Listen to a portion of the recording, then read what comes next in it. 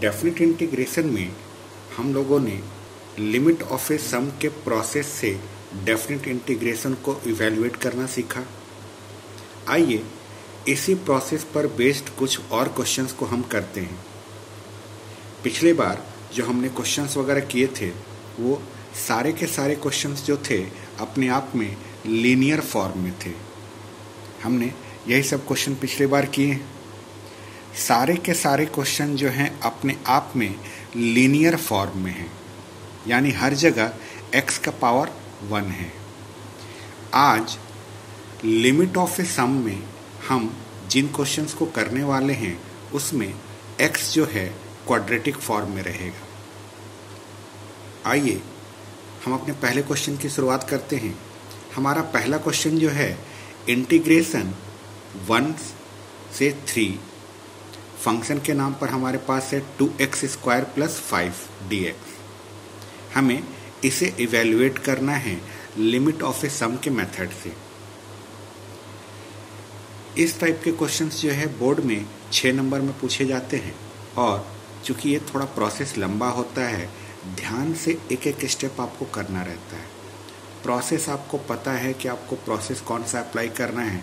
Five simple steps थे। उन five simple steps के थ्रू आप लिमिट ऑफ़ सम के किसी भी क्वेश्चन को बड़े आराम से कर सकते हैं। चलिए, शुरू करते हैं। सबसे पहले हमने इस, ये जो हमारा इंटीग्रेशन है, इसे हमने आई लेट कर लिया।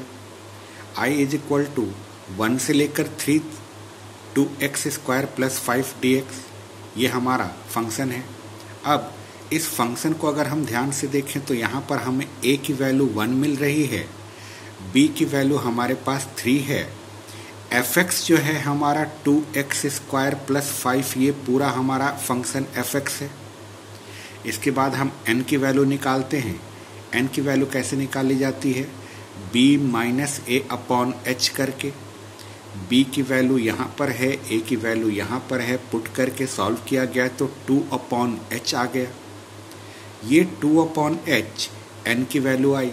यहाँ से अगर आप इस एच को इधर शिफ्ट करें तो आपको n h is equal to two मिल जाएगा। N h is equal to two मिल जाने के बाद लिमिट ऑफ़ ए सम का जो डेफिनेशन था, किसी भी डेफिनेट इंटीग्रेशन का, वो था लिमिट ए से b, f x d x is equal to limit h tends to zero h bracket में। F a plus f a plus h plus f a plus two h plus dash dash dash dash plus f a plus n minus one h यही है limit of सम का formula इस फॉर्मूले में हमें बस ये f a f a plus h f a plus two h और ये f a plus n minus one h इन सब की वैल्यूज़ को फाइंड आउट करना रहता है। वैल्यूज़ को फाइंड आउट करना बहुत ही सिंपल सा स्टेप है। हाँ ध्यान से आप यहाँ पर एक एक वैल्यू को फाइंड करेंगे। यहाँ पर वैल्यू को फाइंड करते समय अगर प्लस माइनस में कोई भी गड़बड़ हो गई तो पूरा क्वेश्चन हमारा गलत हो जाएगा। सबसे पहले बात करते हैं हम एफ़ ए की। हमारा इस क्वेश्चन में ए जो था वन था। ए जहाँ पर भी यूज़ होगा, उसको हम वन लेकर सॉल्व कर रहे हैं इस क्वेश्चन में। तो सबसे पहले हम बात करते हैं एफ़ ए की। एफ़ ए का मतलब एफ़ वन है। अब ये एफ़ वन की वैल्यू हम कैसे निकालें? हमारा फ़ंक्शन जो है एफ़ एक्स तो एफ़ एक्स जो दे रखा है two x square plus five दे रखा है। एक्स की जगह पर जो वैल्यू हम यहाँ पुट करेंगे, वही एक्स की जगह पर हम वैल्यू यहाँ पर भी पुट करने वाले हैं। हम सबसे पहले एफ़ वन की वैल्यू निकाल रहे हैं।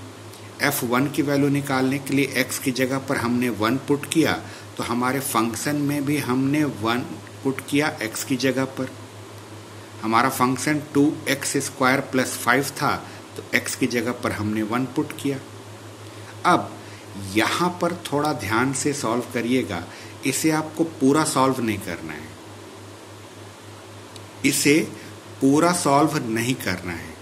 जो जिस फॉर्म में आ रहा है, इसे उसी फॉर्म में आपको रखना है। आप इसे ये नहीं कि इसको पूरा सॉल्व करके यहाँ पर सेवन लिखें। इसको पूरा सॉल्व करने पर अपने आप में ये सेवन आएगा, लेकिन हम इसको सेवन नहीं लिखेंगे। जो जैसा है, इसे, इसी फॉर्म में हम यहाँ रहने देंगे। हमारा फ़ंक्शन देखिए फ़ंक्शन हमारा दो हिस्से में था। तो हर एक बार जब ये वैल्यू निकलेगी, वो अपने आप में दो हिस्सों में रहेगी। इसे सॉल्व नहीं करना है अभी। इसके बाद हम बात करते हैं एफ़ ए प्लस एच की। एफ़ ए प्लस एच मतलब ए की जगह पर हमने वन पुट किया अब हमें वैल्यू निकालनी है एफ़ वन प्लस एच की।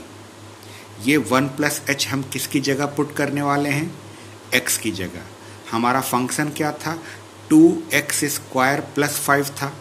उस एक्स की जगह पर हम वन प्लस एच पुट करेंगे।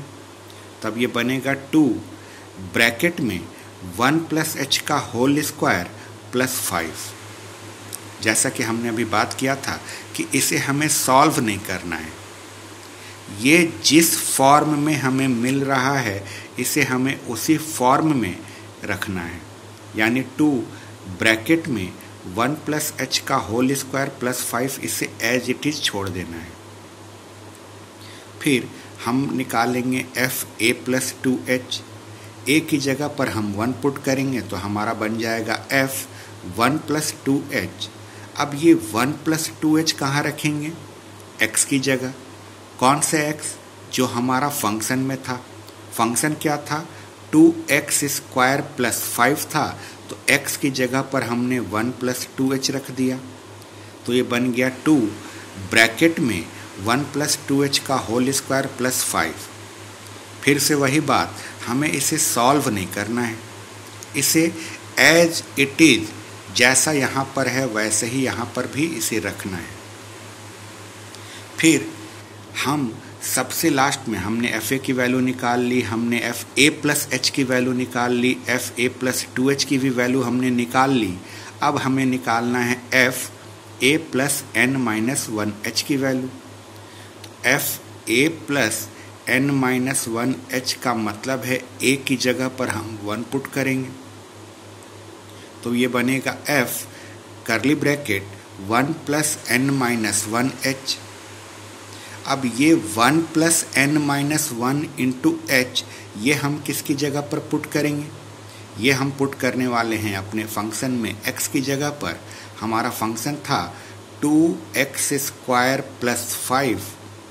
X की जगह पर हमने one plus n minus one into h रखा, और ये होल स्क्वायर वैसे ही है। यहाँ पर भी बात वही है, हमें इसे सॉल्व बिल्कुल भी नहीं करना है।